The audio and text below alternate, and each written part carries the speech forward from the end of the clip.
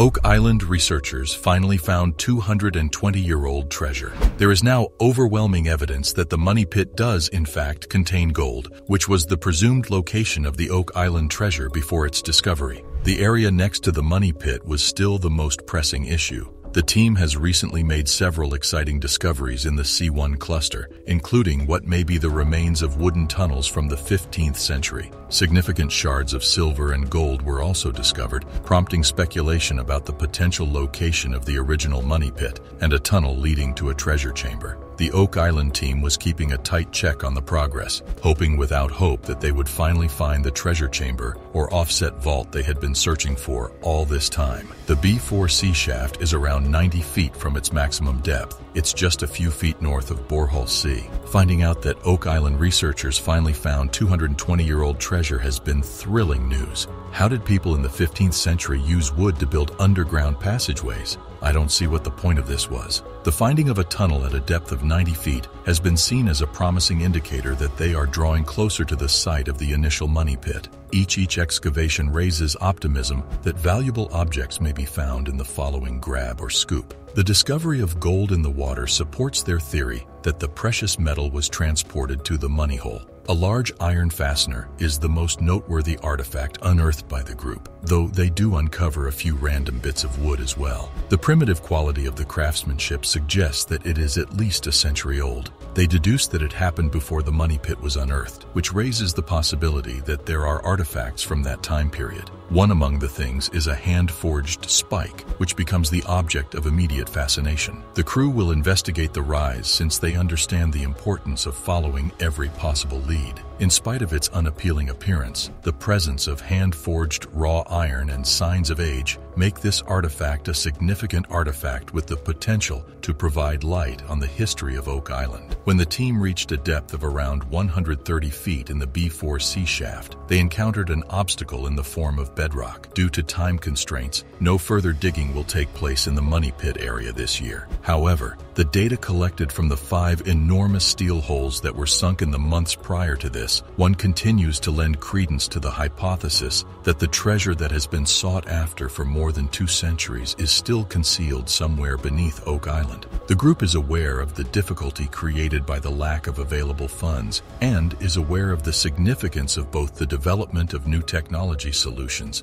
and the efficient use of those that already exist in order for them to proceed with their quest. They have every incentive to continue their search for the elusive treasure since there is scientific data that points to the presence of large quantities of gold and silver below the surface. The crew maintains their confidence in their ability to advance as they continue to drill deeper holes and make further discoveries. They have determined the tunnel's altitudes, and the finding of the artisanal spike contributes to the increasing amount of evidence they have accumulated. Due to its significance, the team intends to conduct more C-14 testing. After exploring the B-4C shaft for more than 100 feet, Marty Lagina, Craig Tester, Gary Drayton, and blacksmithing expert Carmen Legge returned to the lab to talk about the iron spike they found. Carmen's knowledge and careful examination of the spike have given us hope that we may soon discover more about its background and importance. Carmen Legge determined that the iron spike recovered from the B4C shaft belonged to a medieval rock drill.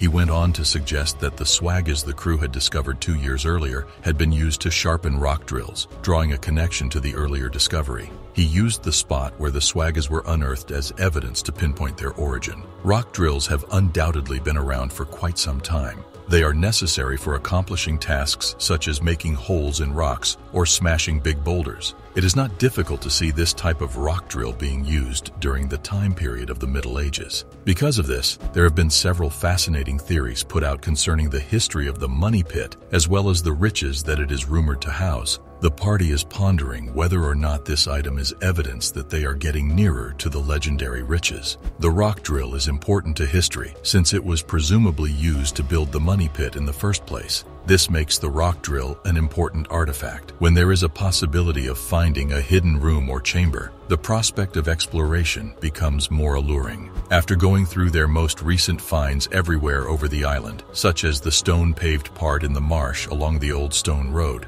the crew members debate probable suspects in the Oak Island mystery. This takes place after they have gone through their most recent findings. Is it possible that they have uncovered the guilty parties and are moving closer and closer to finding the solution to the mystery? To be more specific, what exactly is it that sits at the bottom of the financial abyss? Even if they do not yet have all of the answers, the Lagina brothers are grateful for the patience and dedication of their loyal staff and audience. When ships often sailed between the east coast of North America and the Caribbean in the late 17th and early 18th centuries, many people believe that pirates utilized Oak Island as a safe haven at some point during this time period. Some people believe that this event took place sometime in the late 17th century or the early 18th century. They could have unearthed the treasure buried by the pirate captain, but they couldn't be certain. However, as they proceeded farther down the hole, water started to fill it up. This was due to the fact that the island they were working on was located in an unorthodox location, namely on top of a glacial tumulus. In spite of the fact that no significant money has ever been discovered on Oak Island, hopeful treasure hunters have been making the trek there for nearly 225 years.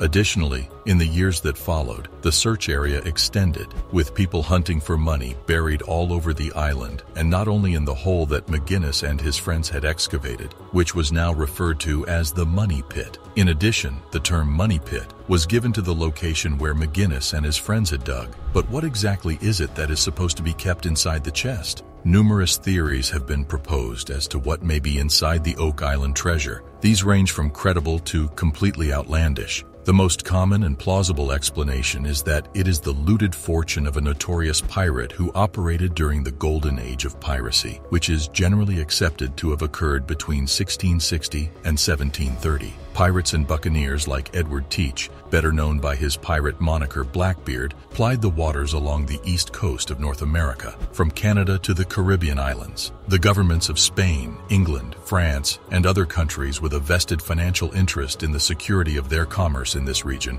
were powerless to stop pirates from attacking vital colonial ships on their way back to Europe due to the high level of piracy that existed during this time. Be sure to subscribe and turn on the notification bell to be the first to know when we post. The golden age of piracy in the Western Atlantic was ended by coordinated attacks on pirate ships, beginning with the Treaty of Utrecht, which ended the War of the Spanish Succession in 1713 and was signed by the major European powers. With the signing of the Treaty of Utrecht, the War of the Spanish Succession officially came to a conclusion. Many people wonder where the Oak Island money hole got its start. Geologists have concluded that it's highly unlikely that the money pit was an artificial subterranean vault used to store wealth. Because of the island's proximity to the ocean and its high water table, the island's bedrock is prone to erosion. As a result, a system of faults and caverns develops beneath the surface, which has the potential to collapse, resulting in the emergence of natural sinkholes.